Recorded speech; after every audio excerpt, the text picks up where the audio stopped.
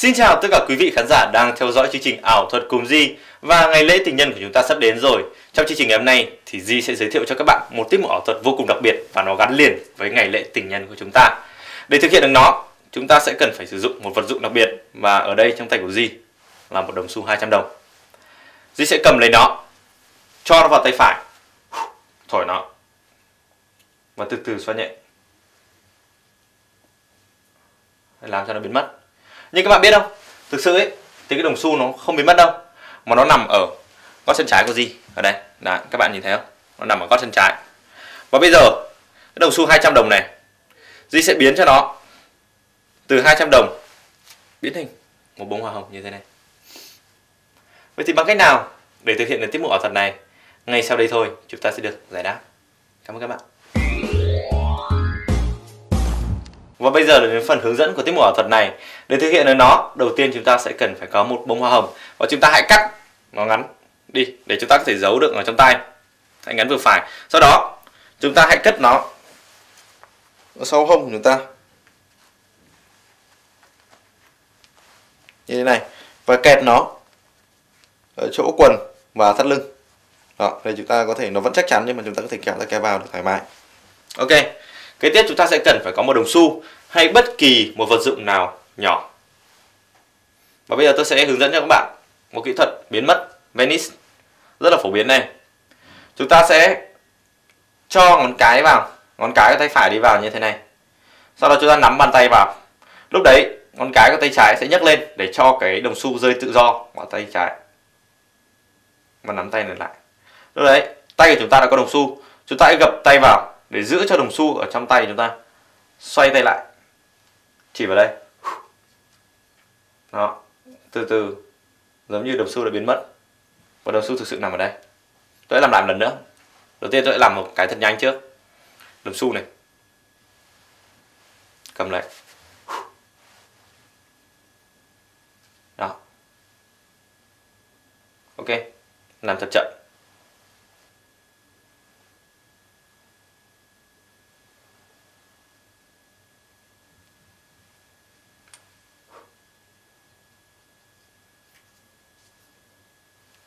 Đó.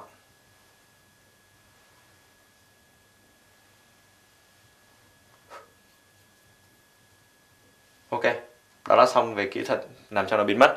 Kế tiếp, đến đoạn chúng ta lấy bông hồng ra.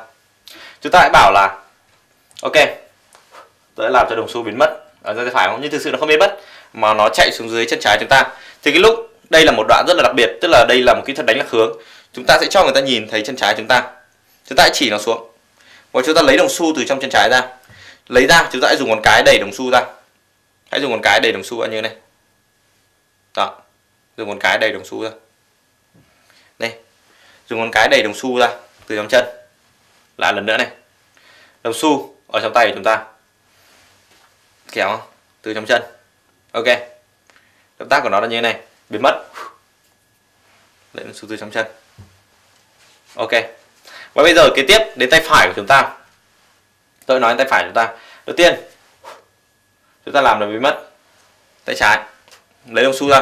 Thì cái lúc chúng ta nhấc cái tay trái ra tay phải của chúng ta sẽ thò ra và cầm lấy bông hoa hồng như thế này.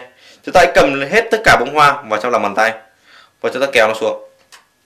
Hãy kéo nó xuống. Đó. và bây giờ là đến phần của tay phải. Tôi giải thích trước về cái động tác ấy Đấy, chúng ta sẽ cho đồng xu biến mất này. Ở trong tay phải, các bạn đồng ý chưa? Đó. Sau đó, chúng ta sẽ bảo là thực sự thì đồng xu chưa biến mất, mà nó xuất hiện ở bên chân trái của tôi.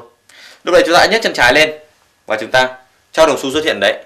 Nhưng từ từ, khi chúng ta nhấc chân trái lên và cho đồng xu xuất hiện, đồng thời lúc đấy tay phải của chúng ta sẽ thò ra và nắm lấy đầu của bông hoa hồng và kéo nó xuống. Như thế này. Đó. Vậy thì bây giờ bông hoa hồng của chúng ta đã nằm ở trong lòng bàn tay của mình đã nằm ở đây. Và cái cuống của nó nằm dọc phần cánh tay của ta. Đó. Đây. Đây. Chúng ta lấy đồng xu từ chân trước. Lấy đồng xu ta. Tung lên. Đó. Sau chúng ta vẫn sẽ tiếp tục cầm đồng xu bằng cái đầu ngón tay. Sau đó chúng ta sẽ nhấc bông hoa lên. Chúng ta hãy cố gắng thật cẩn thận. Đấy, hãy đưa tay thật cẩn thận để tránh không cho cành hoa nó bị lộ ra ngoài sau đó, chúng ta sẽ làm động tác như thế này. Chúng ta sẽ kéo cái bông hoa đến gần, thả đồng xu xuống, tay cầm lấy cuống hoa và thu cái tay này về như thế này. Đây, tôi sẽ làm lại một lần nha thả ra, cầm lại cái cánh hoa cho khán giả nhìn thấy. Đó. Nhìn từ đằng trước. Hiện tại nhìn từ đằng trước. Cánh tay vung vẩy thoải mái. Đó tránh, không để cho cái cuống hoa đi ra ngoài. Ừ, tránh không để cuống hoa đi ra ngoài. Như đây vung vậy. Cho khán giả nhìn thấy, đồng xu để biến thành bông hoa. Sau đó kế tiếp, chúng ta hãy gập các ngón tay vào để giữ lấy đồng 200 và cái đầu ngón tay chúng ta. Và chúng ta xoay bông hoa thẳng lên như thế này. Vậy thì bây giờ người ta nhìn thì đồng xu đã nằm ở trong tay chúng ta. Vậy thì giống như đồng xu đã biến thành bông hoa vậy tôi sẽ giải thích lại một lần nữa, làm lại lần nữa thật nhanh. Đồng xu và bông hoa. Đồng xu thả xuống, thay thế bằng bông hoa. Và giữ đồng xu bằng các đầu ngón tay. Đó. Vậy tôi sẽ làm lại một lần nữa từ đầu đến cuối. Chúng ta sẽ cắm bông hoa này vào đằng sau. Ok. Tiếp tục đồng xu. Chúng ta sẽ làm cho đồng xu biến mất chúng ta hãy nhớ này, ngón cái chúng ta phải đi vào giữa của đồng xu và các ngón tay thì nó sẽ tăng lên phần hiệu quả. Gặp vào, khi các ngón tay chúng ta đã che đồng xu, chúng ta thả đồng xu xuống. Kéo nó lên, xoay, nắm tay lại, đồng xu vẫn nằm trong tay. Thổi và làm cho nó từ từ biến mất. Ok, kế tiếp chúng ta sẽ chỉ đồng xu ở bên chân trái. Chúng ta lấy đồng xu từ chân trái, đồng thời tay chúng ta sẽ móc bông hoa từ tay phải. Đó, bông hoa tay phải là lấy ra. Sau đó, chúng ta sẽ cầm đồng xu như thế này. Cho khán giả nhìn thấy đồng xu. Từ từ kéo.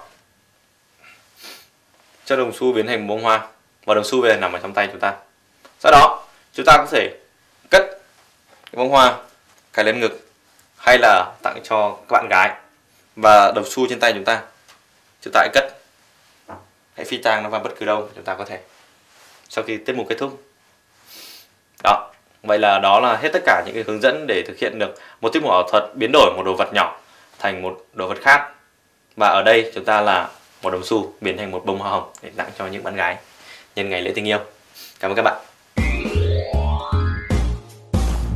Vậy là trong chương trình ngày hôm nay, một chương trình vô cùng đặc biệt thì Di đã hướng dẫn được cho các bạn một tiết mục ảo thuật từ một cái vật dụng nhỏ nhỏ thôi là chúng ta đã có thể biến ra được một bông hoa hồng dành tặng cho bạn gái và người yêu của mình. Di chúc tất cả các bạn thành công với tiết mục ảo thuật này và hẹn gặp lại các bạn trong chương trình lần sau. Chào các bạn.